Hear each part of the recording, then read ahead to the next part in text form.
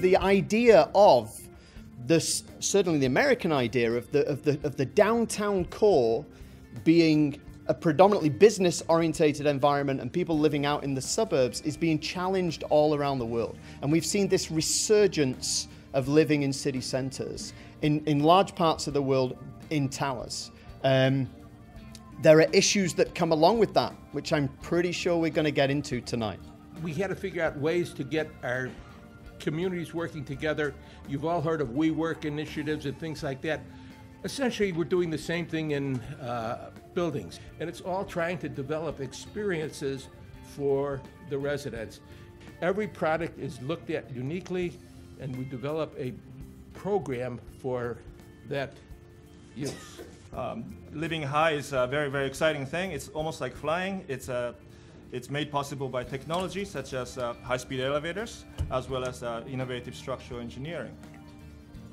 Living high is all about also um, spectacular views that you see from these amazing heights. Uh, I think what makes uh, urban living exciting is the, is the density and the diversity of occupants, and for me these make for a very powerful combination and a convincing case for living high. Tall buildings have the power to amaze us, to delight us, to change a skyline, to be an iconic symbol.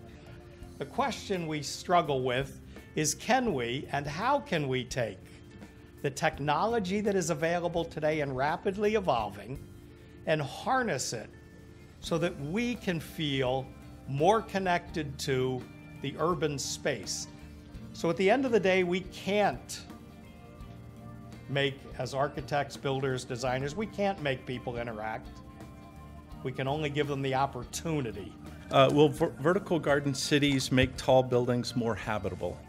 Uh, is this the answer for growing urban population?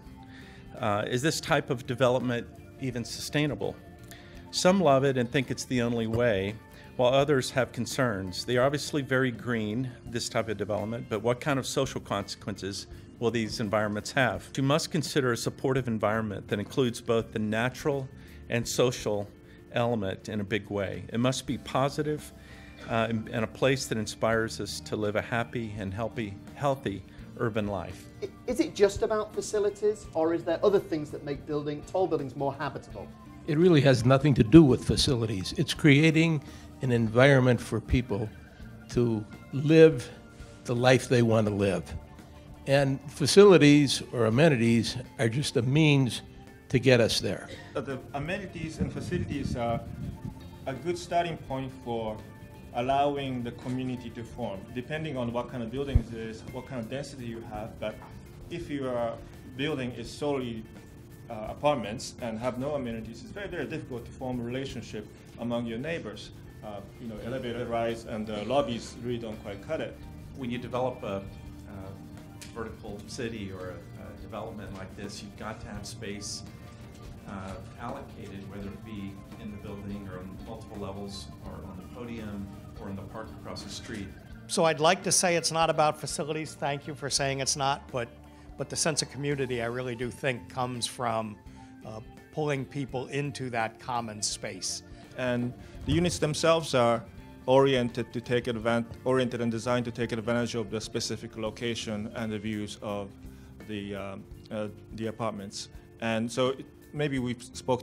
I spoke too much about the community and the uh, overall building aspect of it. But what makes the building is really the individual units that add up to it. Looking to the future, what's the biggest innovation, perhaps challenge or innovation, which is going to change how people live in tall buildings 20 years from now? I'll just go with what I know today, and it's that every one of our projects, uh, very interested in, in connection to landscape, connection to green, uh, sunlight, uh, you know, permeable buildings, uh, views, breezes, all of those things. The nature connection is super important, and it, it keeps getting escalated. So I think just connectivity to landscape will continue to be important for these types of buildings to survive. Chan-Li? I think it's a combination of common space and the landscape space. You know, amenities and uh, all the different uh, new features that new buildings may have will keep evolving and changing with the trend and uh, different uh, ideas about how people use collective spaces, but uh, landscape spaces are always available, and it, it, it always seems to be timeless and uh, welcoming in uh, communities.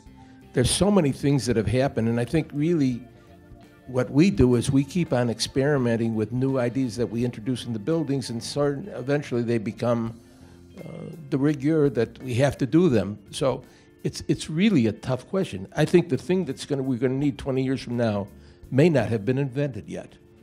Um, I think it's densification. Um, and by that I mean the urbanization, my generation, uh, retiring to cities rather than suburbs. How do we provide more spaces for people moving from the suburbs uh, to the city? And I think all of the amenities that Jim talked about and the green spaces that Jim talked about and the amenities that Chen Li talked about I think those are going to become more of the draw for my generation to want to continue coming to the city.